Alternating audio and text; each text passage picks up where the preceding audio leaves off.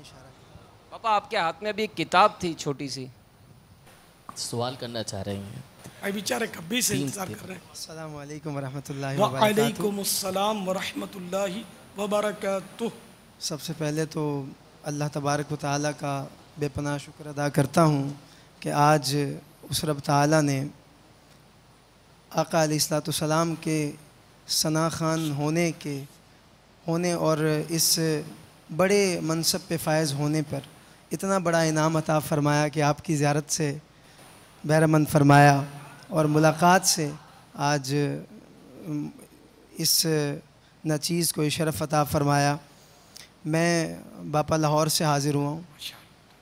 और बहुत शुक्रिया। और सबसे पहले तो जिस जिसके इलम में था या हुआ मेरे अहल ख़ाना की तरफ़ से और तमाम ही दोस्तों अहल आन पंजाब और बिलखसूस दाता की नगरी में बसने वाले, तमाम ही आपके अकीदतमंद और प्यार और मोहब्बत रखने वाले सब की तरफ़ से आपको सलाम पेश करता हूँ। असल वरहमल क्या सबने आपको वकील किया सलाम पहुँचाने का। जी जिस जिसको इलम हुआ उसने ये कहा कहिए ना कि जिन्होंने आपके जिस- लिए जिसने- सलाम कहा मैं उनका सलाम कहता हूँ। जिस ये फरमा जिसने दीजिए जिस तो जिसने जिस जिसको इलम हुआ और जिस जिसने मुझे कहा कि बापा जान को सलाम पेश करना हमारी तरफ़ से सबका सलाम आपके। अ, बापा जान आप बहुत खूबसूरत मौजू पे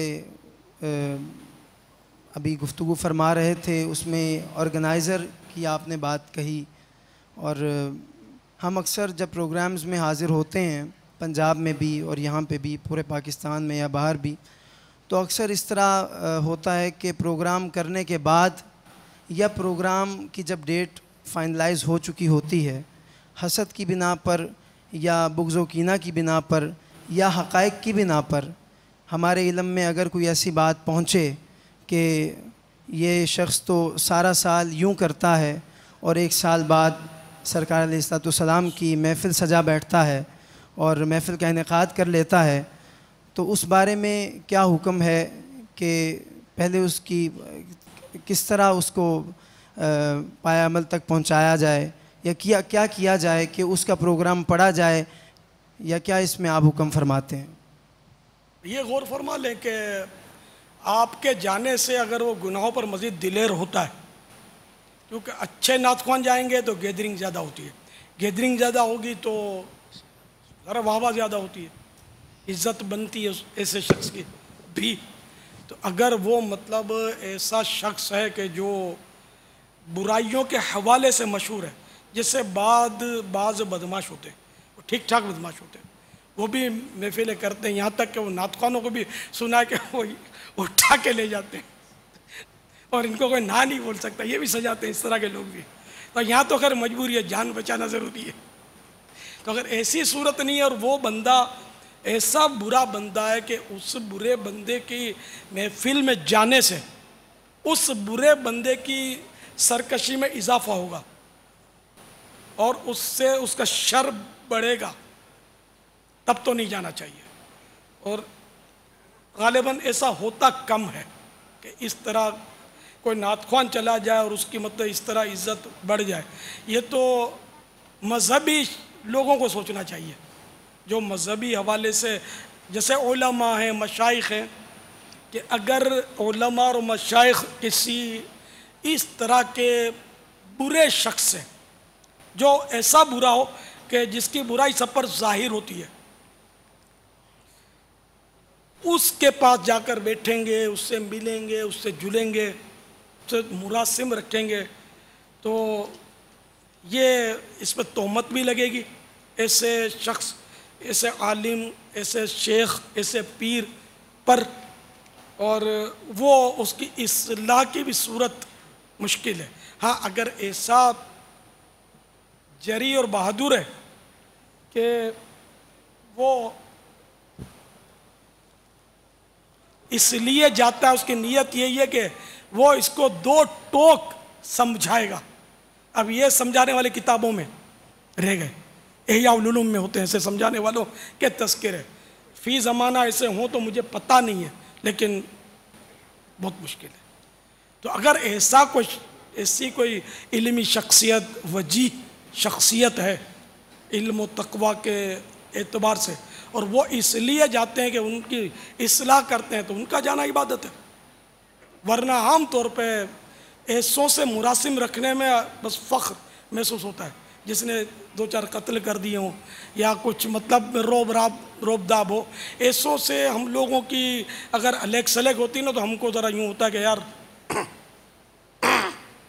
तो ये तो सना खान क्या, हम ज़्यादा मुबतला हैं इसमें, हम लोग ऐसों की खुशामदें करते हैं, इनकी इसलाह होने ही नहीं देते।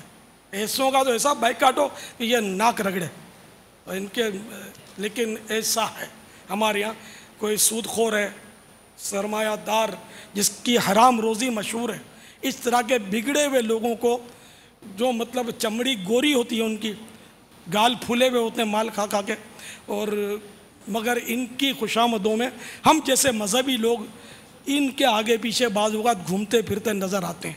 नात ख्वान भी इनकी खुशामदें करते रहते हैं, आते जाते रहते हैं। इनका फ़ोन आ जाए तो दस को अगर तारीख दी है, वो कैंसिल हो जाएगी। सेठ का फ़ोन आ गया, ठीक है ना? फुला सरमादार का फ़ोन आ गया तो गरीबों को नज़रअंदाज कर दिया, या उससे छोटी पार्टी है, उसको भी नज़रअंदाज कर दिया, और उसके पास जाकर बैठ गए। तो वास्तफ़िल्ला बहुत बुरी बात है तो ऐसों से बहरहाल ये कि अगर वही बात हो कि अपनी वजह से अगर उसकी ढिटाई में, सरकशी में इजाफा होता है तो नहीं जाना चाहिए। और अगर ऐसा नहीं है, नॉर्मल है तो जाने में कोई हरज नहीं है। लेकिन अब तो हमारे मंच जो है ना, ये फासिकीन, फाजरीन से पुर होते हैं। मंचों पे बड़ी बड़ी तस्वीरें बाजू का आवेज़ा होती हैं। और मैं क्या मतलब आपको क्या कहूँ? नातख्वानी अभी नई नस्लें आप, आपने देखी क्या यार, जो हमने देखी है? वो नातख्वानी रही कहाँ है?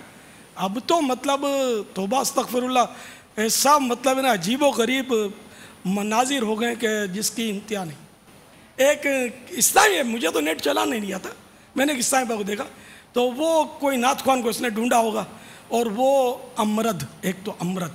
अमरद भी ऐसा कि औरत को शर्मा दे, ऐसा अमरद। यही आपकी तरह खूबसूरत शौक, कपड़े वो रंगीन इमामा, गैर सब्ज़। सब्ज़ तो पहनना ही नहीं है ना। फिर इस्लामी भाई नज़र आएँगे तो फिर वो मज़ा नहीं आएगा। हुब्बे जाह का कुंडा हो जाएगा अपनी। तो इसलिए वो, बहरहाल वो इसी तरह, वो लगा हुआ था, लोग बैठे हुए थे, और वो पढ़ रहा था, है ना, बंद करवा दिया, मैं कि ये क्या? वो, मैं तो ये तरस से भी नहीं पढ़ूँगा कि वरना वो नेट पे मेरा पीस चढ़ा देंगे, दुश्मन। दुश्मनान इस्लाम जो ताकतें वो लगी रहती हमारे पीछे। तो दिल न लगाना, दिल बड़ा बेदर्द समाना। वो हाथ लेरा लेरा कर पढ़ रहा था कि खुदा की पना फ़ौरन बंद करवा देना, ये क्या मुसीबत? में लगा दिया। ये नाते यार। ये क्या पढ़ रहे हैं? और ऐसा हसीन कि वो औरत को शर्मा दे। बिल्कुल अमृत बेरिश ये है नाथख्वानियाँ इसके अलावा, अब नाथख्वानियों में इस तरफ़ औरतें बैठी होती हैं, इस तरफ़ मर्द होते हैं। व्हाट इज़ दिस ये क्या क्या लगा रखा आप लोगों ने यार? ये सना खानी।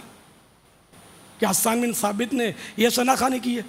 क्या रदी अल्लाह तु और जब पैसों की बारी आती है तो बूसेरी की चादर तो याद आती है आपको। लेकिन इमाम बूसेरी क्या इस तरह ना सोनिया करते थे? बेपर्दा औरतों को इस तरफ़ बिठा कर आप इस तरफ़ मंच पर वो लगे हुए हैं, और वो मतलब जब नात पढ़नी होती है, और अगर औरतें भी साथ हैं तो जिस तरह बनने संवरने का अहतमाम आप करते हैं, वो आप समझें। जिसको बुखार है, खुद ही उसका तप रहा होगा गला। किस तरह बन संवर के, किस औरतें देखेंगी मुझे। नवजुबिल्लामिनदाली कैसे हो?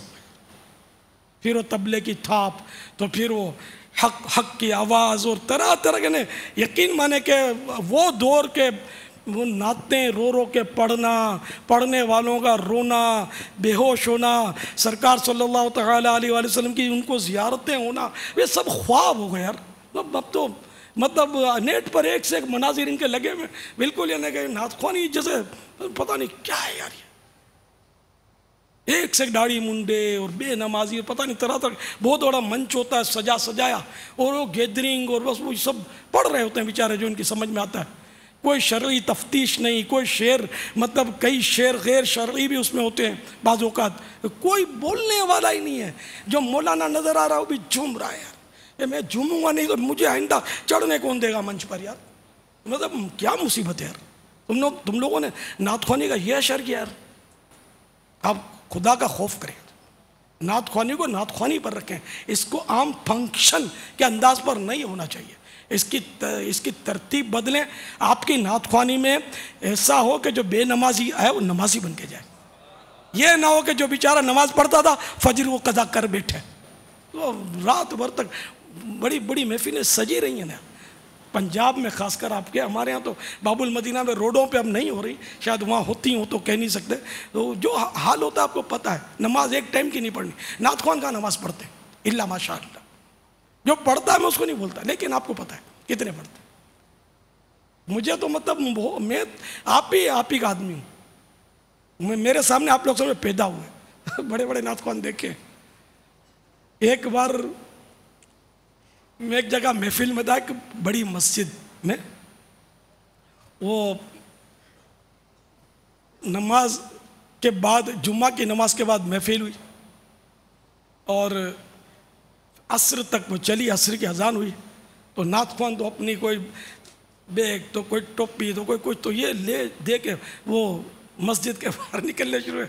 एक बूढ़ा आदमी था, हमारा मेमन काका। मेमन काका बोलते बूढ़ा आदमी था, बेचारा हयात नहीं होगा, अल्लाह उसकी मकफरत कर। और उसने चोर डाल दिया। ये ये ये नाथ खान ये आशिक रसूल जा रहे देखो, जा रहे अभी हा हा हा कर रहे थे, और नमाज़ के अजान हुई तो को सांप सूंघ गया। भाग भाग रहे। इस तरह उसने शोर डाल दिया, एक बूढ़े आदमी ने।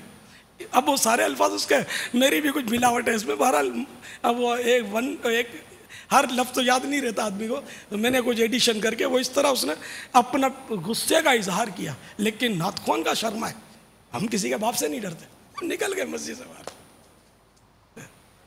तो इसलिए वो नमाज़ अव्वली रोज़ महशर के जहाँ गुदाज बुवत, अव्वली पुरशिश नमाज़ बुवत।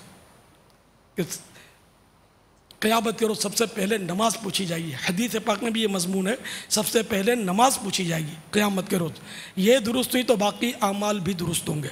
अगर यही बिगड़ी तो बाकी अमाल बदर जाए और औला बिगड़ेंगे। लेकिन नमाज़, मन अपना पुराना पापी है, बरसों से नमाजी बन न सका। अफसोस, सत करोड़ अफसोस। हालाँकि जो जान बूझकर एक नमाज़ भी तर्क कर देता है, उसका नाम जहन्नम के उस दरवाजे पर लिख दिया जाता है, जिसमें से दाखिल होकर उसको जहन्नम में जाना है। आला हज़रत रहमत फ़तः रजवी शरीफ में फरमाते हैं कि एक नमाज़ तर्क करने वाला, जान बूझकर, एक नमाज़ तर्क करने वाला हज़ारों साल अजाब नार का हकदार है। अफसोस, हमारी गफलत नहीं जाती नहीं जाती। ऐसा ना करें। नमाजी नात खान बन जाए? बेलोस बन जाए और अल्लाह करे मैं जीते जी अपनी पुरानी नात खानियों का अंदाज देख लूँ। अल्हम्दुलिल्लाह, दावत इस्लामी के नात खानों का अंदाज वही है।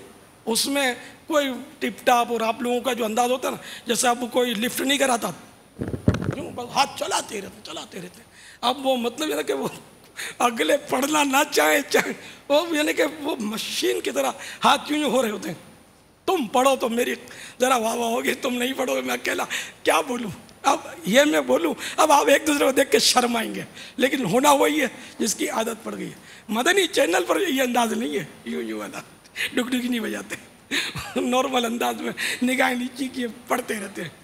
बाद बेचारे निगाह ऊँची कर लेते हैं, लेकिन अक्सर वो निगाह नीची रखकर, नाज शरीफ पढ़ते हैं। ये अब मेरी ही मतलब यानी कि दरख्वास्तों पर नात खान कई नात खान अमल करते हैं बात बेचारे नहीं कर पाते।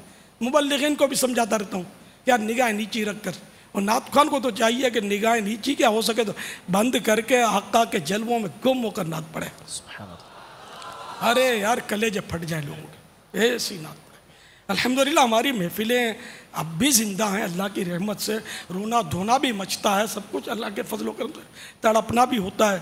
सब कुछ होता है। नात खान भी कभी रोता है, नहीं रोता, सुनने वाले भी रोते होते हैं, मगर आपकी महफिलें, जो मंच पर होती हैं, ये मनाजिर ना होने के बराबर, कभी हो भी जाते होंगे, लेकिन आटे में नमक के बराबर। हमारे यहाँ अक्सर, शायद ही कोई महफिल हमारी खाली होती हो, जिसमें आशिकान रसूल की आँखें नम ना होती हो, और अश्कबार ना होती हो।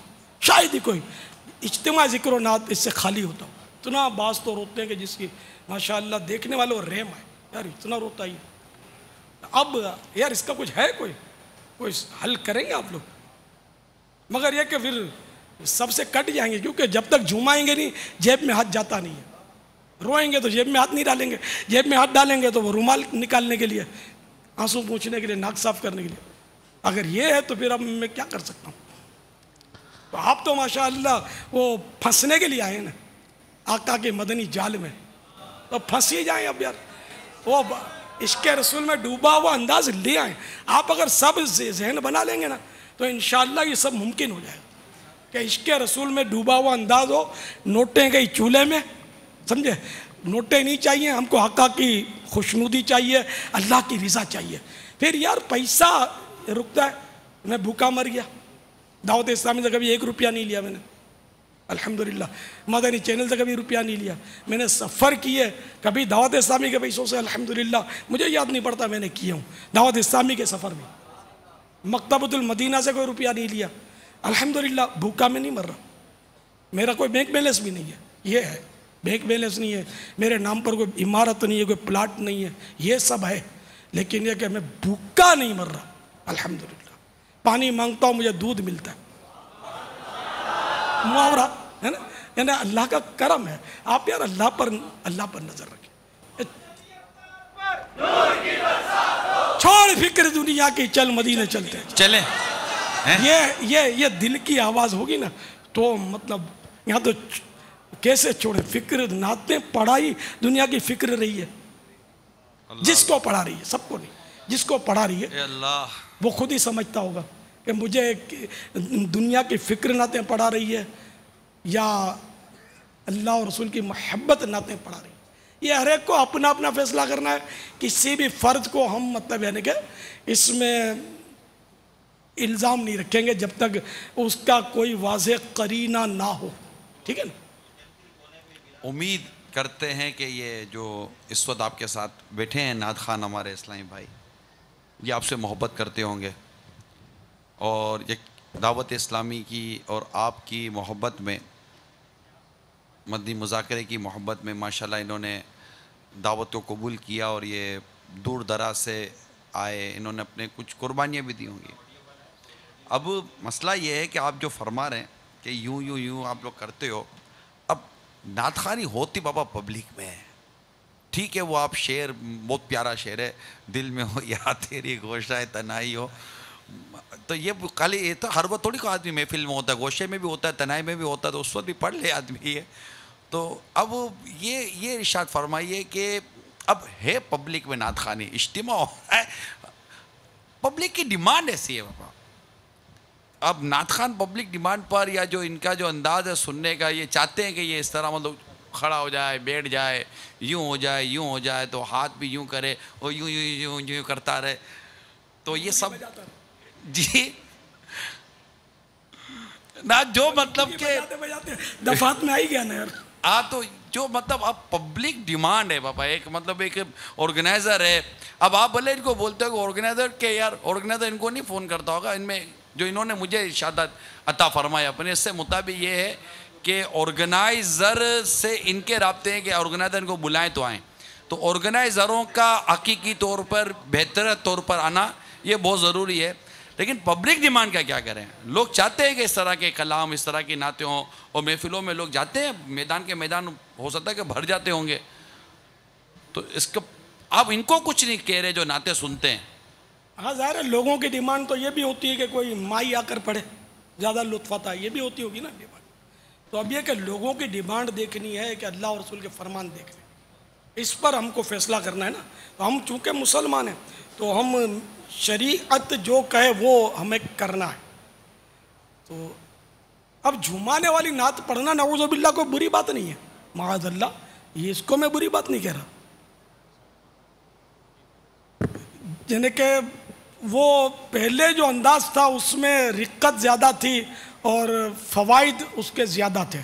अब जो अंदाज है उसमें सब मामला खिलाफ शरा नहीं है। जैसे झूमने वाली नात पड़ी ठीक है? अगर कोई भी कुछ भी तय नहीं है अंडरस्टूड भी नहीं है, और किसी ने आपको नोटों के बदले सोने से नहला दिया, वो भी जायज़ है वो भी कोई अर्ज़ नहीं है। लेकिन अपने अंदर अगर हिरस है ना तो ये तो एक अंदर ये निकालनी पड़ेगी। और इससे बचना बहुत ही यानी कि दुश्वार तरीन है। तो अब लोगों का मुतालबा ये है कि भाई वो फुला नात पड़ी है, जिसमें लोग झूमते हैं तो ठीक है, वो पढ़ें। लेकिन थोड़ा बहुत रुला भी तो दिया करें। ये ये हमारी डिमांड है, ये समझ लो। हम भी आवाम में, हमको मुझे इस अंदाज में मज़ा आता है। यानी अगर नाज शरीफ, समझो, किसी ने पढ़ी और पलकें ना भीगी तो वो सुरूर नहीं आता। अब हमने पुराना अंदाज देखा है। यही यही होता रहा। ये हाजी सिद्दीक हमारे बहुत पुराने नातखान हैं।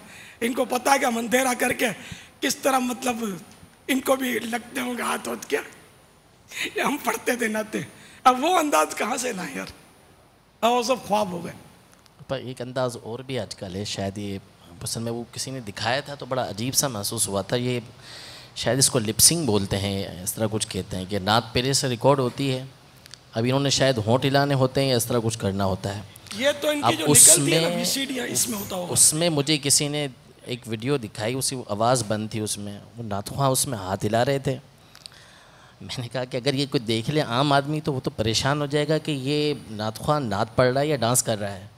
कर क्या रहा है। इसके हाथ कभी इधर जाएँ, कभी उधर जाएँ, खुद कभी उधर घूम जाए, कभी इधर घूम जाए।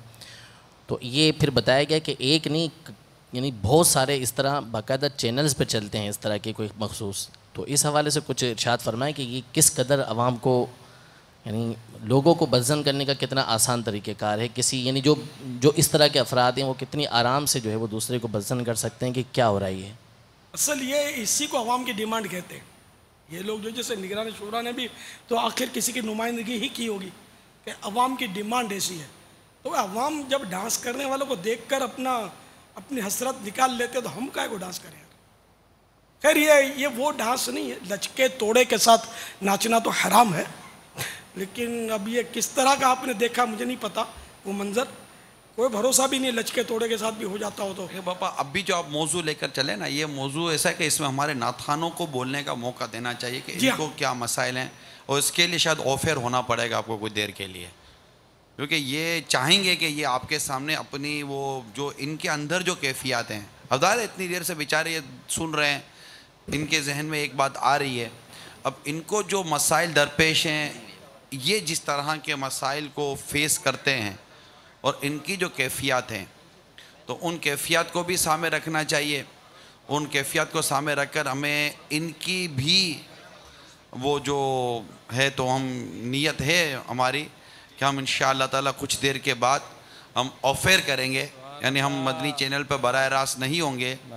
और उस वक्त आपके हाथ में माइक होगा और आप जो मतलब के सवाल करना चाहें, जिस तरह का इजहार करना चाहें जो आप मतलब के वो चाहें माशाल्लाह हमारे पंजाब से और बाबुल इस्लाम से बाबुल मदीना से हमारे बड़े अहम अहम नात खान आए।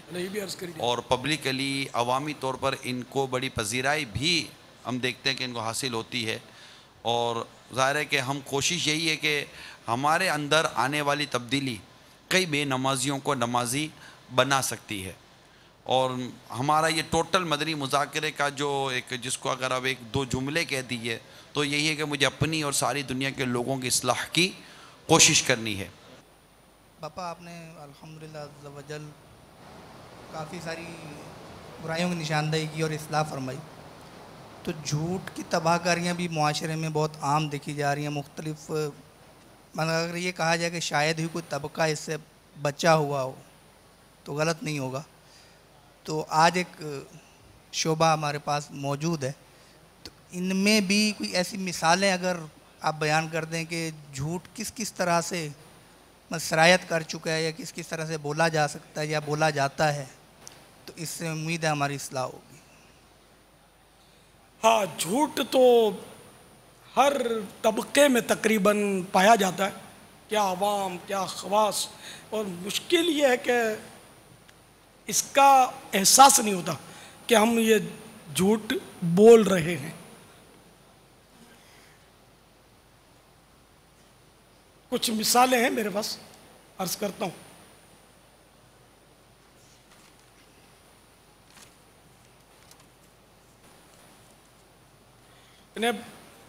इसमें देखो, सब आ गए।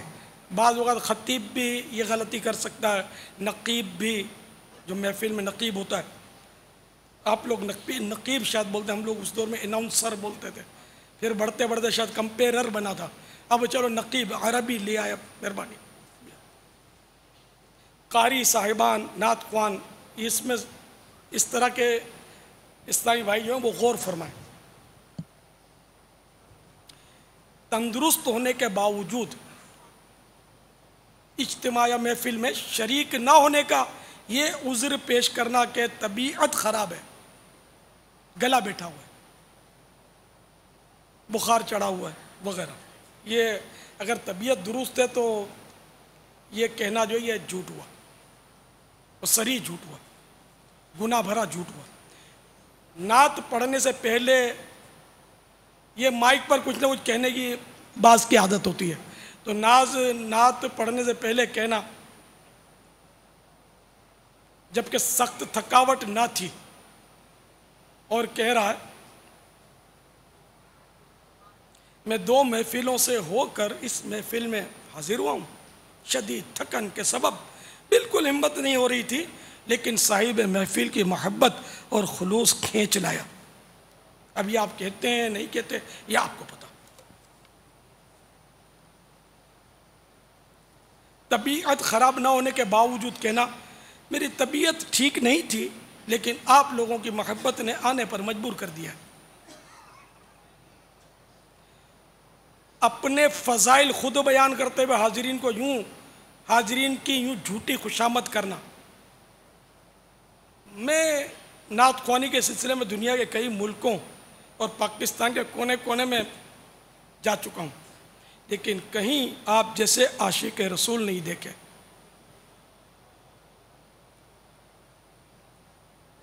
ये कलाम मैंने आज ही लिखा है। हालाँकि पहले का लिखा हुआ है। लोगों की तवज्जो चाहने के लिए। इस नात की तर्ज मैंने आज ही बनाई है। हालाँकि ये बाज़ों का हम जैसे पुराने होते हैं, इनको पता होता है कि ये बचपन में सुनी हुई तर्ज, इनके कहीं से हाथ लग गई है ये समझते किसी को पता ही नहीं है। तो ये तर्ज माँ बदौलत ने आज ही बनाई है। हर झूठ अगर आज नहीं बनाई आपने हाँ इत्तेफाक हो जाए कि भाई वो पुरानी तो है, लेकिन आपने वाकई आज बनाई है, और नक्काली भी नहीं की तो फिर झूठ नहीं होगा। ये तो आपने गौर करना है। मुझे आपसे या इंतज़ामिया से किसी चीज़ का लालच नहीं है। अपने कदर बढ़ाने के लिए कहना, मेरी तो तीन महीने तक की तारीखें बुक हैं।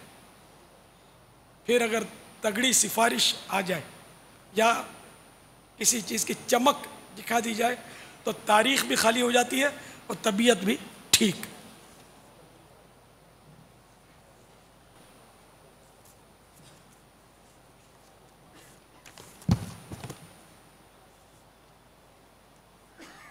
ये तो मेरे घर की महफिल है। मैं तो मेज़बान हूँ।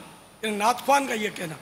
ये तो मेरे घर की महफिल है, मैं तो मेज़बान इसलिए मुख्तसर पढ़ूँगा, लेकिन फिर तवील वक्त ले लेना। नात खानी के बाद किसी ने पूछा, आवाज़ क्यों बैठी हुई थी? तो कहना, माइक खराब था। हालाँकि गला खराब था। पता ना, वो नाचना ना आवे तो आँगन टेढ़ा। काफ़ी दिनों से महफिलें कर रहा हूँ। इसलिए गला बैठा हुआ है। हालाँकि बीमारी की वजह से ऐसा होता है। बाज़ पढ़ने से नहीं होता। जो पढ़ने के माहिर होते हैं ना, उनकी आवाज़ कभी गला ख़राब हो जाता है अमूमन वो मरज़ होता है। रोज़ पढ़ते हैं। वो जिन दिनों में, अब तो बयानत नहीं कर रहा। बहुत कम। लेकिन कई कई घंटे बयान अल्हम्दुलिल्लाह किए हैं मैंने। आवाज़ मेरी बैठती नहीं थी। तो इसी तरह जो बयान ज़्यादा करता है, जो नात ज़्यादा पढ़ता है, इनके जो कव्वे हैं ना, ये सख्त हो जाते हैं। कव्वे समझते हैं? कहाँ कहाँ कव्वे नहीं, हैं? ये अंदर जो कुछ गुदूद होते हैं, वो कव्वे बोलते हैं। शायद गुदूद होते हैं, या जो भी होता है, ये कव्वे होते हैं। ये सख्त हो जाते हैं। फिर वो जितना भी बोले ना, इसकी आवाज़ नहीं बैठती। इस तरह जो मजमा लगाते हैं मार्केटों में सलाजीत बेचने वाले, उस तरह के जो होते हैं ना, इनके भी कव्वे पक जाते हैं तो इनकी आवाज़ नहीं बैठती। लेकिन अब वो झेप मिटाने के लिए, बेचारे को पता ही नहीं कि भाई कोई तो समझदार बैठा होगा जिसको पता होगा कि तू इतना बड़ा नातखान नहीं है। तो वो बेचारा कि माइक को उसने खराब कह दिया। काफ़ी दिनों से महफिल कर रहा हूँ। हाँ ये हो गया। कलाम पढ़ने के बाद महफिल से भागने के लिए झूठ बोलना कि मेरी और भी कई जगह महफिल हैं। हालाँकि जाना सीधा घर। मेरे दोस्त ने पुनः कलाम की फरमाइश की है। हालाँकि किसी ने फरमाइश नहीं की होती। इसको पढ़ना होता है और खाली खाली वैल्यू बनानी होती है तो फरमाइश या दोस्तों ने फरमाइश की है। अब वो किसने देखना है और कहाँ मतलब तहकी होगी, किसने फरमाइश की है? वो क़्यामत के दिन ही पता चलेगा कि कितनों ने फरमाइश की थी।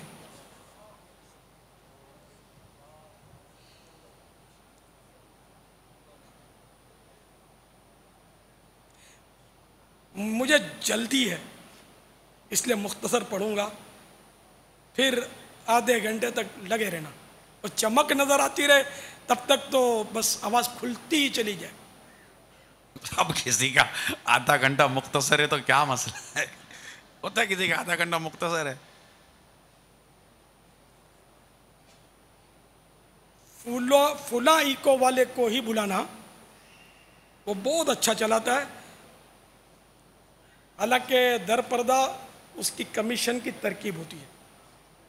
तो ये भी झूठ बल्कि ये कमीशन क्या हुक्म लगेगा? रिश्वत कहलाएगी, है ना? ये कमीशन भी रिश्वत कहलाएगा।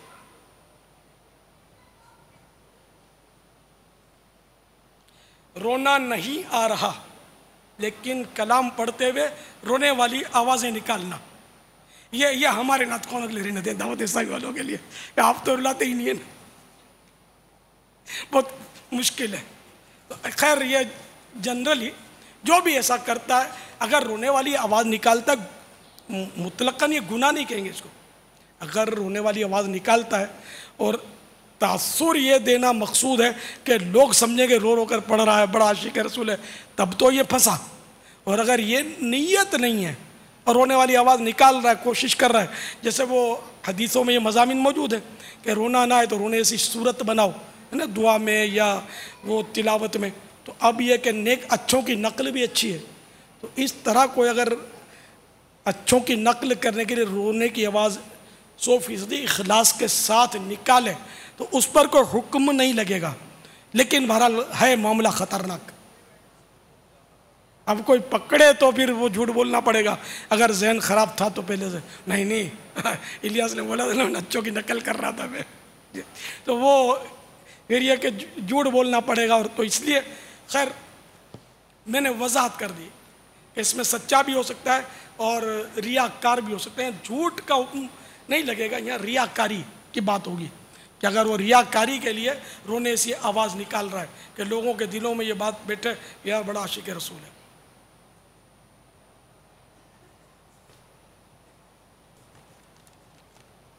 तो अल्लाह ताला करम फरमाइए, मैंने झूठ की मिसालें जमा की हैं। अगर आप में से भी कोई अगर इस तरह की झूठ की मिसालें वो मज़ीद देना चाहे तो अगर मुझे दे देंगे तो इन ये उम्मीद है कि तहरीर में आ जाएँगी इन किताब में आ जाएँगी। जबकि वो वाकई वो मिसालें दुरुस्त हुई तो। पहले ये बताएँ बाबा, क्या आप आज क्या जहन बना कर आए, क्या चाहते हैं? यहाँ से पकड़ रहे हैं, वहाँ से पकड़ रहे हैं, आगे से पकड़ रहे हैं, पीछे से पकड़ रहे हैं दाएँ से बाएँ हर तरफ़ से जैसे पकड़ा, पकड़ी ये क्या आज क्या पकड़ा? प्लान क्या है आज आपका शैतान के खिलाफ जंग जारी रहेगी। झूठ कौन बुलवा रहा है? शैतानी तो बुलवा रहा है। बुग्जो कीना शैतानी तो रखवा रहा है। तो जो भी खराबियाँ शैतान की तरफ़ से शैतान के खिलाफ ऐलान जंग है और क्या?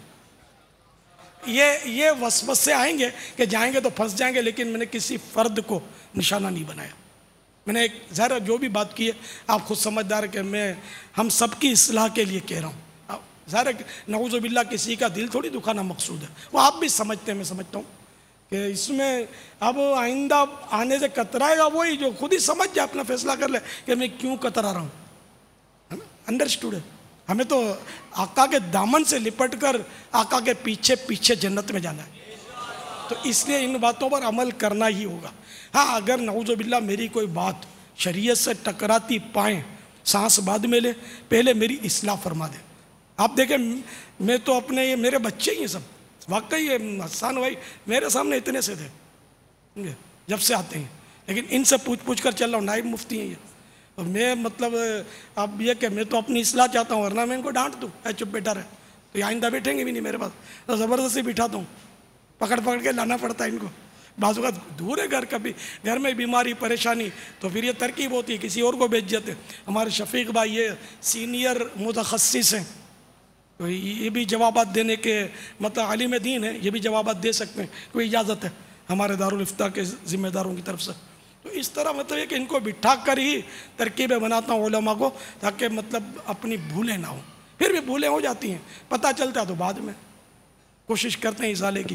तो अब भी, आप भी कोई भूल महसूस करें, बिल्कुल आप खड़े हो जाएँ इन मैं आपको डांटूँगा नहीं, झाड़ूँगा नहीं, गुस्सा नहीं करूँगा इन आप बिल्कुल बिला रोक टोक आप मेरी इसलाह फरमाएँ। ये दरअसल वसाइल बख्शिश, इसमें लिखा हुआ है, मुरम्मम मुरम्मम, तरमीम शुदा। ये ब्रैकेट में लिखा मुरम्मम। तो ये दरअसल इसकी मैंने दोबारा तफ्तीश करवाई, क्योंकि मैं बाकायदा शायर नहीं हूँ। ये खामा का अपनी मतलब है ना कि होशियारी करना, मैं शायर नहीं हूँ।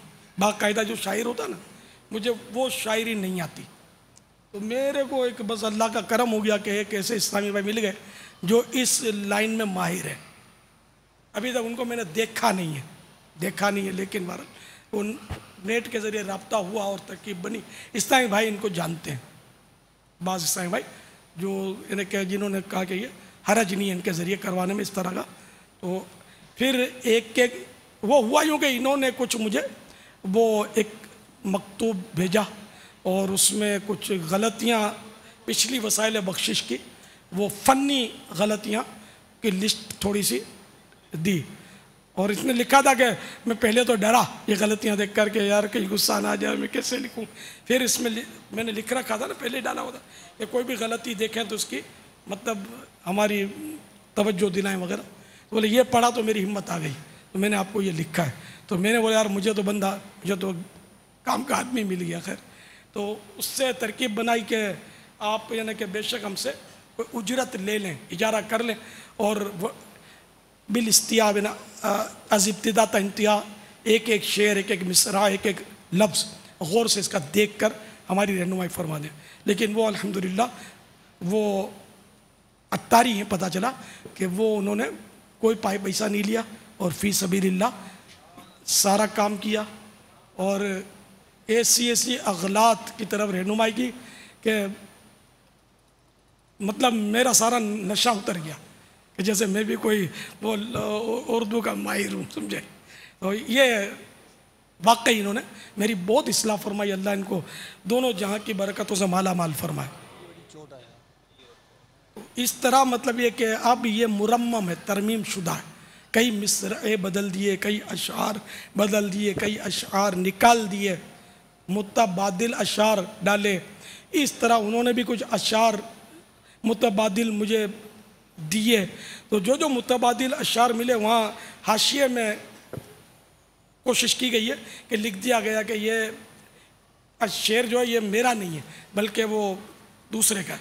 इस तरह की तरकीब कर ली है इसमें। तो अब ये कुल इसके सफ़े हैं सात सौ पंद्रह। और ये शाबान के महीने में पंद्रह की भी एक मतलब यानी कि तरकीब है। पंद्रह शाबान। फिर बाद में कुछ दो चार सफ़े हैं जिसमें कुछ रिवायतें सात सौ पंद्रह सफ़ात की ये पॉकेट साइज़ किताब जो मुरम्म है तो मेरी जितनी भी पिछली वसाइल बख्शिश के कलाम हैं उसको इसकी कसौटी पर ले लिया जाए। उसमें अगलात हैं। शरी तफ्तीश तो बहुत पहले करवाई ली थी मैंने। अब भी जो भी कलाम लिखता हूँ, हत्तल इम्कान में, मुफ्ती साहब से चेक करवा लेता हूँ। और इनसे भी अब तरकीब रखी है कि हत्तल इम्कान में इन्हीं को मेल करवा देता हूँ तो ये चेक करवा लेता हूँ। इस तरह ये कि ये अब वो फ़नी अगलात अब इसमें नहीं होंगी, ऐसा नहीं है, अब भी होंगी। लेकिन अब पहले के मुकाबले में उम्मीद है कि बहुत कम होंगी। और इन्होंने मुझे लिख बड़े बड़े शायरों के नाम लिखे। नाम मैं ले नहीं सकूँगा। मशहूर है, सब जानते होते हैं। बोला, उनकी भी फ़नी अगलात होती हैं कि वो एक दूसरे पर तनकीद करते हैं, दीगर शुरा कई अल्फाज ऐसे होते हैं जिसमें इख्तलाफ होता है। और इस तरह कई तलफ़ ऐसे होते हैं जिनमें इख्तलाफ होता है। तो ये कि अगलात से कोई पाक नहीं होता। हाँ अगलात से पाक ज़ात जो है, मेरे मुस्तफ़ा की है अम्बिया किराम की है, मलाइका की है, कि वो मासूम है, ठीक है ना? और बाकी हम लोग जो, खासकर हम लोग जो हैं, हम तो मतलब यानी कि सांस लेने में भी ख़ता करते हैं, सांस भी लेना नहीं आता। तो इस किताब को हासिल कीजिए, इसका हदिया सिर्फ़ 105 रुपया हमारे मकतबतुल मदीना वालों ने रखा है। जी बाबा।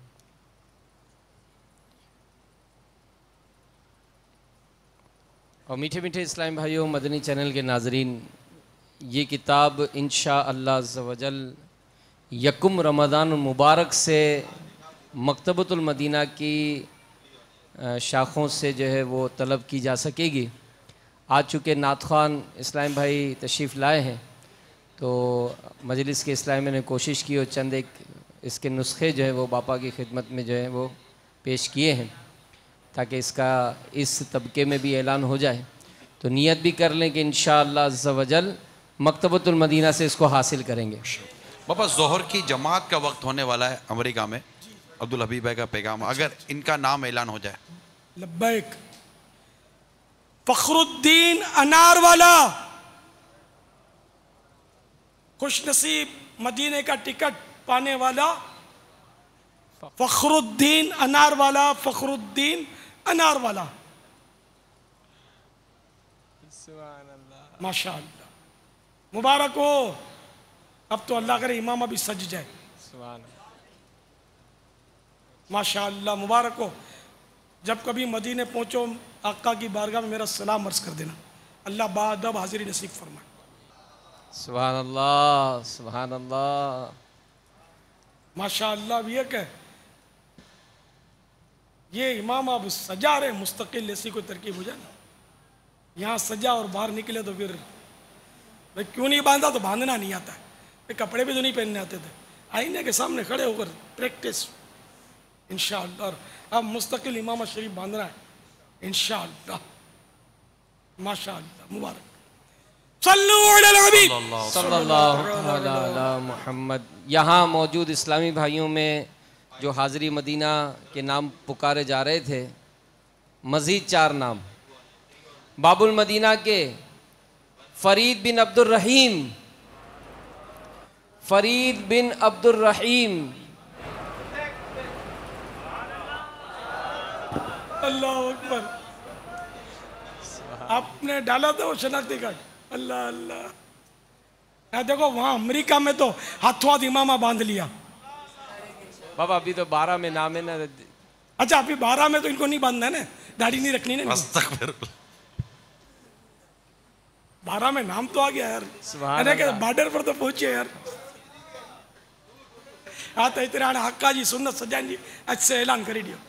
सुभान अल्लाह। आज से ना जडे सुधी मुंडा जी तोबा। हाँ इन हिम्मत हिम्मत है मरना ते मदद खुदा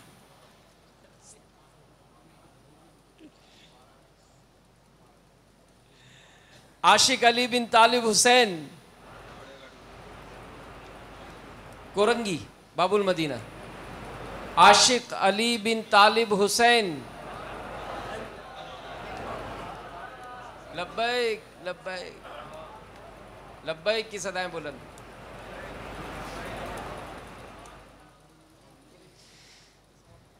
खुजदार बलूचिस्तान। साबिर यूसुफ बिन मोहम्मद यूसुफ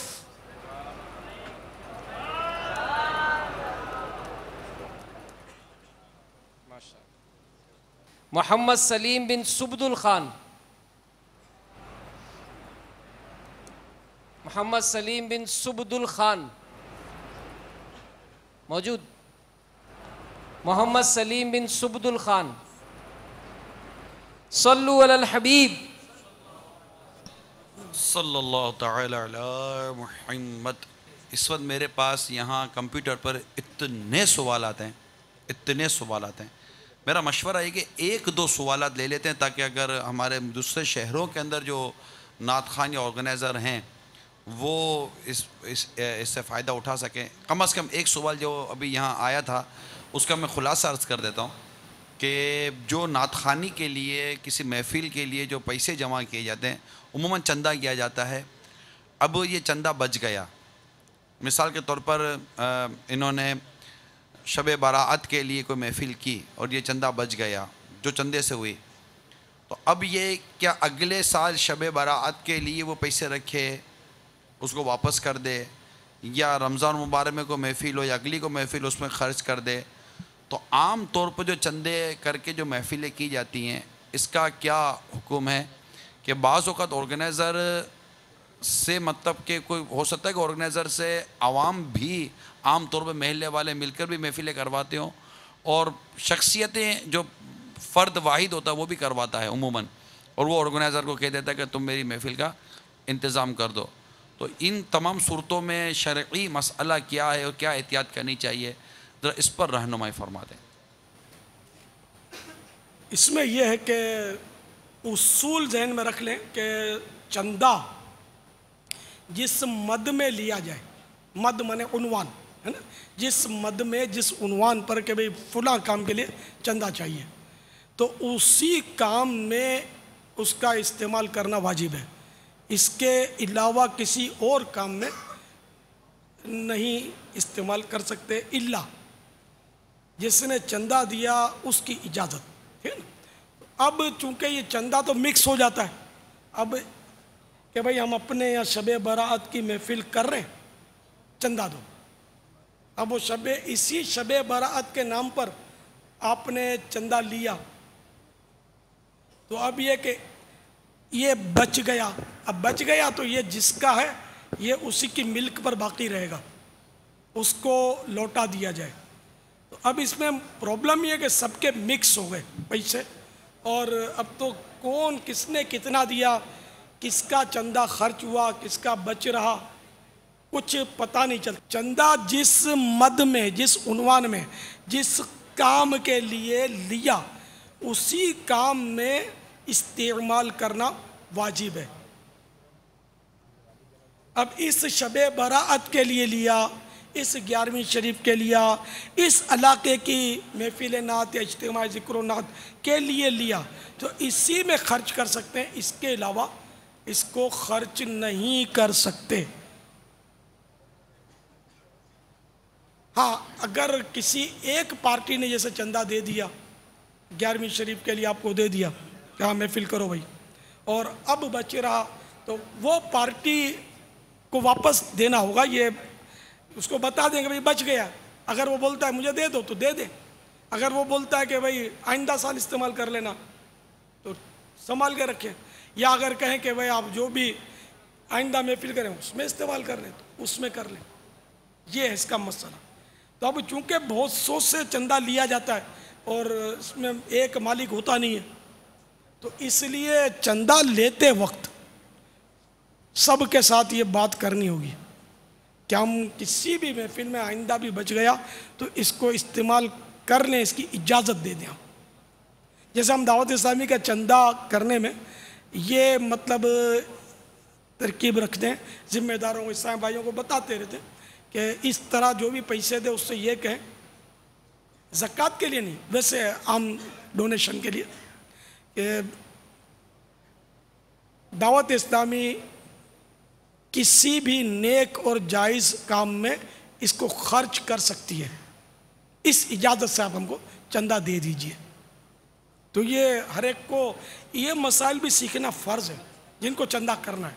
उनके लिए ज़रूरी कि वो ये मसाइल सीखे, वरना ये इतने गुना होते हैं इसमें जिसकी इंतहा नहीं। मस्जिद का चंदा लेते हैं और खुदा जाने क्या क्या इसका ये लोग इस्तेमाल कर डालते हैं। सिर्फ़ मदरसे का चंदा लेते हैं, जलसों का चंदा लेते हैं, इज्तम ज़िक्र नात का चंदा लेते हैं, और कामों में चंदा लेते रहते हैं, और बच गया तो इसका जो समझ में आता है, इस्तेमाल कर लेते हैं। बल्कि नहीं भी बचा तो इसका जो सो, इस्तेमाल ये कर डालते हैं। तो इस तरह ये कि ये गुनागार होंगे। वो चंदे के बारे में सवाल जवाब। मकतबुल मदीना की किताब है। मेहरबानी करके पढ़ लीजिए। मुख्तसर, ज़्यादा तवील नहीं है। 108 सफ़े इसको पढ़ लीजिए। तो इन ये चंदे के बारे में बहुत मालूमात हो जाएगी। असल सवाल ये था बच गया तो अब क्या करें? अब बच, बच गया। गया तो मैंने अर्ज़ किया ना कि जो जिसने दिया है। जी वो नहीं मालूम। वो, वो नहीं मालूम। अब क्या करना चाहिए? तो क्या इस, लिखा है? इसी तरह के काम में अगर इस्तेमाल कर सकते हैं महफिल के अंदर यानी शब बारात की महफिल में तो तो ठीक है शब बराअत की महफिल में इसको काम में इस्तेमाल ले लें। जी वरना ये कि जो फ़ुकरा हैं उनके ऊपर तसदुक किया जाएगा सदका किया जाए। अगर बच गया तो जैसे कि ग्यारहवीं शरीफ के लिए लिया तो आइंदा किसी ग्यारहवीं शरीफ की महफिल में इसको खर्च कर दे। बारहवीं में नहीं कर सकते। नहीं बारहवीं में नहीं कर सकेंगे या करेंगे। हमने क्या उसमें यार वो फाइनल जो किताब में लिखा हुआ? शब शब कदर का इज्तिमा होता है, उसमें नहीं कर सकते।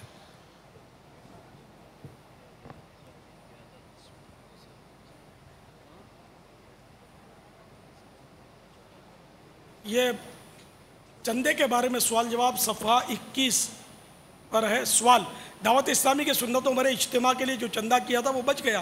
तो क्या करें? क्या मस्जिद या मदरसे में या अपने तंजीमी हल्के के लिए दरिया वगैरह ख़रीदने में उसे खर्च कर सकते हैं?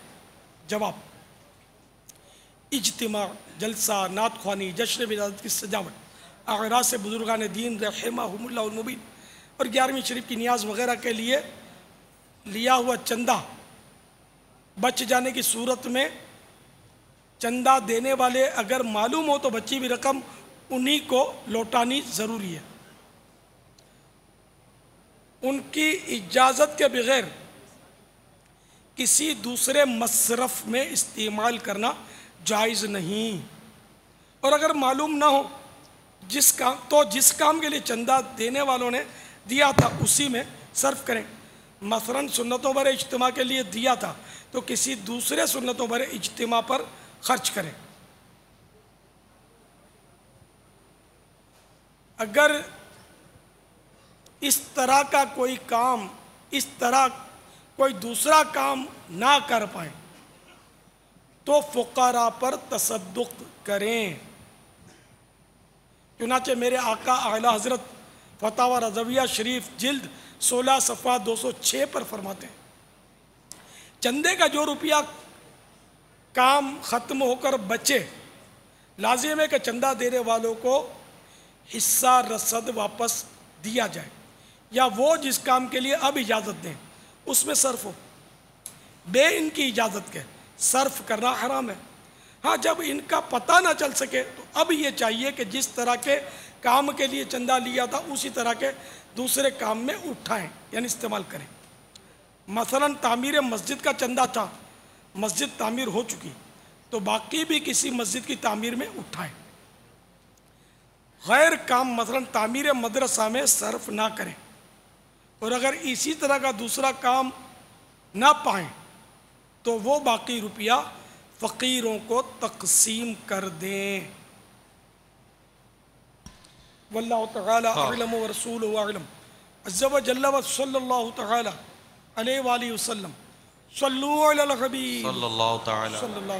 वाज मज़ीद अगर हो जाए क्योंकि क्या इससे हम ये तो ये कयास कर लेंगे कि जिस तरह मस्जिद की तामीरात का बचा हुआ रुपया मदरसे की तमीर में ख़र्च नहीं कर सकते। तो इसी तरह शब बरात के लिए जमा किया हुआ रुपया हम किसी इजतिमा में खर्च नहीं कर सकते, किसी उर्स या लंगर में खर्च नहीं कर सकते, या किसी महफिल में खर्च नहीं कर सकते, या इसके बाद ही किसी मतलब ग्यारहवीं या बारहवीं की महफिल में खर्च नहीं कर सकते। मतलब इसमें असल मसला क्या आएगा, इसकी तरफ़ अगर रहनुमाई हो जाए ना, अब मस क्योंकि ये इस पर इसलिए बाबा बार बार पूछ रहा हूँ कि अगर ये बात जायज़ या नाजायज़ की कोई सूरत आती है, अगर नाजायज़ है, मिसाल के तौर पर तो हमारे अमूमन होता ये है कि हम ये कहकर बहुत सारे काम कर गुजरते हैं कि कौन सा अपनी जेब में डाल रहा हूँ, कौन सा अपनी ज़ात पर खर्च कर रहा हूँ। दीन का काम है ना? इस्लाम का काम है ना? तो अगर वो काम उस पर खर्च करना शरण नाजायज़ हो तो फिर सवाब की नीयत से खर्च करना कैसा? तो इन तमाम तर चीज़ों के मसाइल अगर स्पेशली ऑर्गेनाइज़र वगैरह को पता चल जाए ना तो उम्मीद है कि फ़ायदा होगा। सर इज्तम की मिसाल थी ना और ये चेक शुदा है इफ्ता से तो दूसरे इज्तम में तो महफिल जो है एक दूसरे की मिसल हैं तो उसमें हर जनियों का ग्यारहवीं बारहवीं के हिसाब से शब बारात और शब कदर के हिसाब से उसमें कर सकते हैं खर्च। इसके देखा अव्वल तो अलाजत ने ये लिखा है कि इसकी वापसी यानी जिस, जिसने चंदा दिया उसको लौटा दे। अब इसका कुछ समझ नहीं आती, लौटाने की सूरत नहीं बन रही। तो अब उस जैसे काम में सर्फ करें। तो महफिल के लिए लिया था तो अब सिर्फ़ महफिल में करें, खर्च। जैसे अब लंगर लंगर रजविया नाम आ रहा है, वो लंगर, नियाज के लिए लिया था। तो नियाज में सर्फ कर दे। इसी तरह मस्जिद के लिया लिया था, बच गया। किसी और मस्जिद में सर्फ कर ले, मदरसे में नहीं, मस्जिद ही में। तो उस जैसे काम में सर्फ करे। अब उस जैसा काम में नहीं मिल रहा। तो अब यह कि फ़कीरों को बांट दे। फतह रिजर्वेशन में ये लिखा।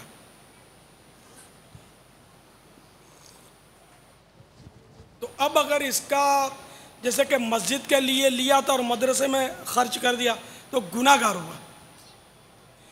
महफिल के लिए लिया था और किसी बेवा की मदद कर दी तो गुनागार होगा। आप बोलो नेक काम कर रहा हूँ तो यह है कि किसी मालदार के घर में धाड़ डालो डाका डालो और गरीब को दे दो तो ये सवाब थोड़ी मिलेगा। गुनाहगार ही होंगे। तो कत्ती हराम को तावान भी देना। सवाब समझ कर करना। तावान भी देना पड़ेगा। अर्ज़ कर रहा हूँ। कत्ती हराम को अगर हलाल समझ कर किया तो फिर इसमें तो हुक्म कुफर आएगा। और इस तरह अगर इसने गलत इस्तेमाल कर लिया चंदा तो जितना चंदा दिया था, उसका तावान देना पड़ेगा। यानी उतनी ही रकम जिसने दी थी, उसको लौटानी पड़ेगी। तो आजकल चंदे का इस्तेमाल तो बहुत ही गलत हो रहा है। बड़े बड़े मतलब इसकी तरफ़ तवज्जो नहीं रखते और अगलात हो रही हैं। तो इसमें जलसा करने वाले और जो हमारे वेलफेयर वगैरह का काम करने वाले इन सब के लिए इसमें अल्हम्दुलिल्लाह मदनी फूल बयान किए गए हैं। दावत इस्लामी भी चंदा करती है, मदनी अतियात जिसको हम हमारी इस्तेलाह में कहते हैं। और उसके अलावा भी बहुत सारे लोग इस तरह अंजुमन वगैरह जब बनी हुई होती हैं, ये दीन के और नेकी के काम के नाम पर खर्च चंदा वगैरह करते हैं। तो इन सब के लिए इसमें मैं उम्मीद करता हूँ कि मदनी फूल होंगे। और चंदे के बारे में सवाल जवाब किताब ये गोया कि हर एक उस शख्स के लिए, उस इदारे के लिए, उस अंजुमन और वेलफेयर के लिए मुफीद है कि जो चंदा करते हैं, चंदा खर्च करते हैं, इन सब के लिए किताब मुफीद है। और ये पढ़ना चाहिए और इसके मुताबिक अमल करने की कोशिश करें ताकि हम जो काम सवाब की नीयत से कर रहे हैं, हमें सवाब तो मिले। जहालत से हम बाहर निकलें और इल्म दीन हासिल करने की कोशिश करें। अलबत् मैं ज़रूर ये दावत दूँगा हमारे तमाम तर नाजरीन को, हाजरीन को, कि आप देखिए कि ये मुख्तसर सा एक वक्त था, हमने मदनी मुजाकरा सुना, देखा। गालिबा मैं समझता हूँ कि बहुत सारा हिस्सा इस मदनी मुजाकरे का वो था जिसमें फ़र्ज़ उलूम थे। हराम और नाजायज़ कामों से महफूज रहने के मदनी फूल थे। हमारी ज़ाहरी और बातनी जो गुनाहों के अमराज और बीमारियाँ हैं, उनकी निशानदही और उसके इलाज के मुतालिक मदनी फूल थे, उसका तदारुक बयान किया गया, उसका हल बयान किया गया। ये आज के इस मदनी मुजाकरे का अल्हम्दुलिल्लाह आपके सामने नतीजा है। गौर कीजिए कि अगर आप मदनी मुजाकरे के पाबंद बनते हैं, ठीक है, आप कहेंगे कि हफ़्ते की रात होती है, हमारा ये सब कुछ हिस्सा होता है, सिलसिला होता है। लेकिन अब अपनी असलाह की कोशिश के लिए हम क्या कर पा रहे हैं? सीखने के लिए क्या कर पा रहे हैं? हफ्तावार जितिमात हमारे जुमेरात को होते हैं। इसी तरह मदसतुलमदीना बालिगान हमारे लगते हैं, क्योंकि कई कारी साहिबान को या कई नात खान को या दीगर को उमूमन माइक मिल जाता है कि ज़रा आप कुरान पाक की तिलावत कर दीजिए। तो वो बाज़ अवत कुरान की तिलावत करने के लिए माइक लेते हैं और चूँकि मखारिज और कवाईद का इन्हें अंदाज़ा नहीं होता, मद्दात वगैरह का तो बहुत बड़ी बड़ी गलतियाँ कर गुजरते मैं ख़ुद इसका मतलब कि मैं, मुझे पता है इसका, मैं इसलिए अर्ज़ कर रहा हूँ। मुशाहे और तजर्बे की बात अर्ज़ कर रहा हूँ कि वो बहुत अच्छे अंदाज में, अच्छी आवाज़, अच्छे आवाज़ में ये कुरान के, कुरान पाक की तिलावत उठाते हैं और बिल्कुल मतलब कि वाज तौर पर ठीक ठाक गलतियाँ हो जाती हैं। तो चूँकि अवाम है अवाम को नहीं पता होता कि इस कुरान कैसे पढ़ रहे हैं, दुरुस्त पढ़ रहे हैं या गलत पढ़ रहे हैं। तो इसके लिए मदरसतुल मदीना बालिगान दावत इस्लामी के। मदनी काफ़िलों में सफ़र करें माशाल्लाह, हमारे कई नात खान इस्लाम में मदनी काफ़िलों के मुसाफिर बनते हैं। तो कम अज़ कम तीन दिन मदनी काफ़िलों में सफ़र की भी नीयत कर लीजिए। आप जहाँ जाते हैं, गीबत के ख़िलाफ़ ऐलान जंग करते रहिए और दावत इस्लामी के लिए जो भी आपसे बन पड़ता है, काम कीजिए। इसलाह उम्मत की नीयत से उम्मीद करता हूँ इसका भरपूर सवाब भी हमें मिलेगा इन ताला। अच्छा अब ये कि ऑफेयर से पहले हाजी सिद्दीक आपका सवाल ऑन एयर रखना है। आप तो माशाल्लाह तजर्बा करें क्या बोलना चाहिए? जैसा जैसा आप हुक्म फरमाए। मतलब हम तो आपकी जियारत के लिए आए और कुछ नहीं। जजाकल्ला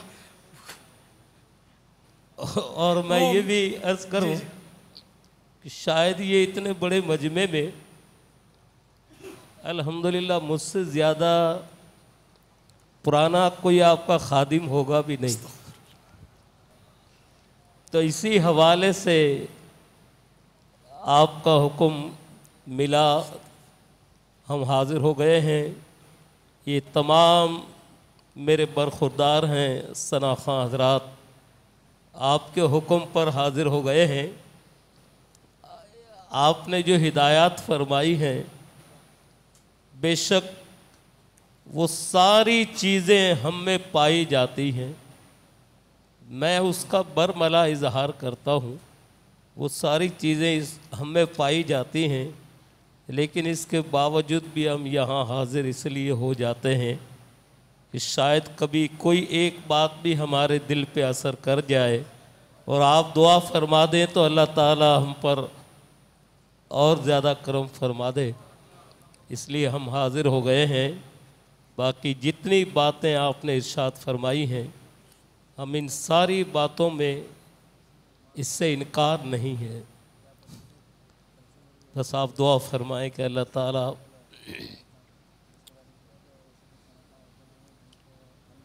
अल्लाह हम सबकी हम पर सब पर। सिद्दीक भाई इंशाल्लाह आप दो उम्मीद है कि अगर हम इसको लेकर सीरियस लेंगे ना अमीर सुन्नत ने आज के मदनी मुजाकरे में एक बहुत खूबसूरत जुमला इरशाद फरमाया बोल्ड स्टेप। यानी हमें इन एक अपने तौर पर एक इंतहाई कदम उठाकर हमें अपना ही कोई फ़ैसला कर लेना चाहिए कि ठीक है मतलब ये इनफरादी तौर पर अर्ज़ किया गया ना? हाजी इमरान साहब आप तो पता नहीं कहाँ से इस वक्त हमारे साथ मैं यही फैदान मदीना से सिस्टम माशा मैं एक बात अर्ज़ करना चाहता हूँ कि ये जिन शराइत पर बात हुई है, या तो फिर ये तमाम सना खां हजरात फैज़ान मदीना से मुकम्मल तौर पर वाबस्ता हो जाएँ। तो ये तमाम इन ताला ये सारा फैज़ मिलता रहेगा। वगरना ये जो आम तौर पर हम जो महफ़िलों में जाते हैं तो ये तमाम चीज़ें तो हमें, अल्लाह ताला करम फरमा दे, लेकिन ये जो माहौल बना हुआ है, आप जानते हैं कि पहले किस तरह से महफ़िलें हुआ करती थी, ना कोई हदियों का कोई मामला था, ना इस तरह के साउंड सिस्टम थे, ना इस तरह के कोई मामला थे।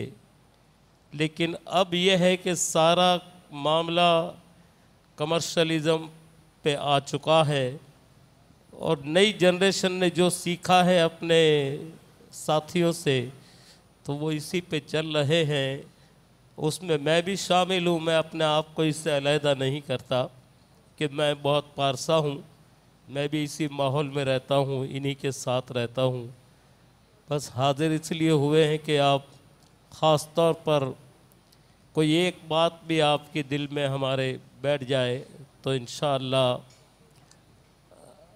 बेड़ा पार हो जाएगा हमारा। माशाल्लाह। हमारा आना जाने का सिलसिला जारी रहे। ये आप बुलाते रहें हाँ, आप बुलाते रहें आपकी अपनी दावत इस्लामी है आपकी अपनी दावत इस्लामी है। बिल्कुल। मैं ये अमीर सुन्नत ने हमें अल्लाह की रहमत है कि हमें ये वक्तन फ़ वक्तन हमें वक्त मिलता है और हम ये मदनी मुजाकरा करने में कामयाब हो जाते हैं और मैं बिल्कुल यकीनन मैं अर्ज़ करूँगा कि हमारे ये जो नात खान आए हैं इनमें एक तादाद वो नात खानों की है जिन्होंने बाकायदा इसकी दावत दावत इस्लामी के नात खानों के साथ मिलकर दी है। आप भी यकीनन इसका एक हिस्सा बने हैं। जी, और भी बहुत सारे हमारे ये नात खान हैं जो अगरचे दीगर महफ़िलों में ये जाते हैं और इन्हें ये भी पता है कि हमारे मदनी मुजाकरों में किस तरह ज़ाहरी और बातनी अमराज के असलाह के लिए मदनी फूल दिए जाते हैं। तबीब का काम दवाई देना है। तबीब का काम दवाई देना है। मरीज़ का काम दवाई इस्तेमाल करना है। लेकिन बड़े बैठे भी तो है ना जो ज़बरदस्ती बच्चों को दवाई पिलाएँ ज़रा। नहीं हम ज़बरदस्ती हम ज़बरदस्ती दवाई की भी बात करेंगे और नज़र की भी बात करेंगे। सुभान अल्लाह कि मतलब कि अल्लाह तबारक व ताली अपने नेक बंदों के ज़रिए निगाहों से भी काम हो जाते हैं। वो कादिर मुतलक है। वो अपने बंदे, अपने बंदों को मुंतखब फरमाता है। और ना जाने किस बंदे, उसके कौन से नेक बंदे की नज़र किस पर कब इस तरह की पड़ जाए कि उसकी ज़िंदगी में मदनी इनकला बर्पा कर दे। और ये जो मैं अर्ज़ कर रहा हूँ, इस वाक़, इन, इस तरह के वाक़ से हमारी किताबें भरी हुई हैं। हमें अल्हम्दुलिल्लाह सोबत नसीब है, हम फैज़ान मदीना में हैं, मदनी मुजाकरे में हैं और अमीर सुन्नत ने इस वक्त हमें कुरान, हदीस और काफ़ी सारे मदनी पुल अता फरमाए हैं। अब अल्लाह ताला हमें इन मदनी फूलों, ये समझिए कि ये एक मदनी फूलों की, जैसे रहमत की बारिश हुई है, अब जो ज़मीन इसको जितना जज्ब करे। अल्लाह मुझे भी तौफीक नसीब करे। यानी ये नहीं है कि जिस जो ये सिर्फ़ नात खानों के लिए बयान हुआ है या इस शोबे वालों के लिए बयान हुआ है। इसमें जो गिबत है चुगली है तहमत है बदगुमानियाँ हैं कीना है बुग्ज़ है ना जाने तरह तरह के इसमें अमीर सुनत मदनी फूल दिए हुब जा है रियाकारियाँ हैं हिरस है हसद है क्या ना जाने कितने सांप बिच्छू नुमाया हुए कि अब इसमें हम सब के लिए इसमें मदनी फूल हैं। ख्वा वो मुबलिग है, मुअल्लिम है, नात खान है, कारी है, जो भी है, उसके अन सब, हम सब के लिए इसमें मदनी फूल है। महफ़िलें, महफ़िलों में जाने वालों के लिए, महफ़िलें करवाने वालों के लिए, सुनने वालों के लिए मदनी फूल फूल भी हैं, सुनाने वालों के लिए मदनी फूल भी हैं। हमें से हर एक इसकी खुशबू को ले, नाक खुली होगी इन खुशबू ज़रूर नाक में जाएगी, और मसा में दिमाग को मअतर करती हुई, हमारे वजूद को भी इन ये फ़रहत बख्शेगी। बहुत बहुत शुक्रिया सिद्दीक भाई। रुकन शुरा का एस एम एस मौसू हुआ इस वक्त शोबा तालीम से वाबस्ता इस आशिकान रसूल का भी कोर्स जारी है और अल्हम्दुलिल्लाह उसमें नात खान भी हैं। इस्लामाबाद में। इस्लामाबाद में। तो अल्हम्दुलिल्लाह वहाँ जो नात खान इस्लामी भाई हैं उनका जो मैसेज मौसू हुआ वो बित तसरुफ़ अर्ज़ करता हूँ कि इन अल्लाह आइंदा कान फाड़ आवाज़ से बचूँगा नात खानी में। हाजिर मदीना। सुबहान अल्लाह अब तो बस एक ही धुन है कि जहलम के इस्लामी भाई हैं। सुभान अल्लाह फैसल सलीम बिन अहमद्दीन।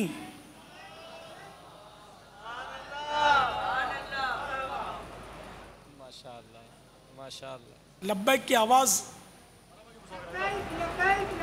माशाअल्लाह मुबारक हो। बारह बारह बाबा बारह माह के मुसाफिर हैं। अल्हम्दुलिल्लाह। तेरह माह बढ़ा दिए जाएँ। सुभान अल्लाह। तेरह में एक और जमा कर देंगे तो बारह जमा चौदह छब्बीस माह हो जाएँगे आप असल जो बात तेरह में वो शायद चौदह में ना हो। जो तेरह को हमारे यहाँ बदकिस्मती से लोग बाज़ लोग मनहूस समझते हैं। तेरह का नंबर मनहूस समझते हैं। ये इनकी गलत फहमी ऐसा नहीं है। कोई नंबर मनहूस नहीं है। इस्लाम में इस तरह की नहूसत का तस्वुर ही नहीं है। किसी चीज़ को इस तरह मनहूस समझना ये गुना है नाजायज़ है। ये जहन में रखिएगा। आप डबल तेरह माह की नियत कर लीजिए। आपने जब ये तेरह की तहरीक दी थी ना उस पर जो एक मैसेज आया था ना बाबा अब तक मज़ा उस मज़ा आता है जब सोचता हूँ तो। मैं कल भी तेरह था आज भी तेरह हूँ। इंशाअल्लाह तेरह ही। रहूँगा। तो इतना मज़ा आया था उसका ये जुमला। मैं कल भी तेरा था मैं आज भी तेरा हूँ। हाँ, सौती एतबार से वो तेरा और तेरा। अल्लाह मरते दम तक तेरा रखे। आमीन। आमीन आमीन। वो उस तेरह में हा है हाँ, आखिर में। दुरुस्त फरमा। ताला- जिनकी मदीने शरीफ के हाजिरी के लिए नाम आया है उन्होंने डबल तेरह माह की नियत कर ली है। अल्हम्दुलिल्लाह। मुबारक हो। माशा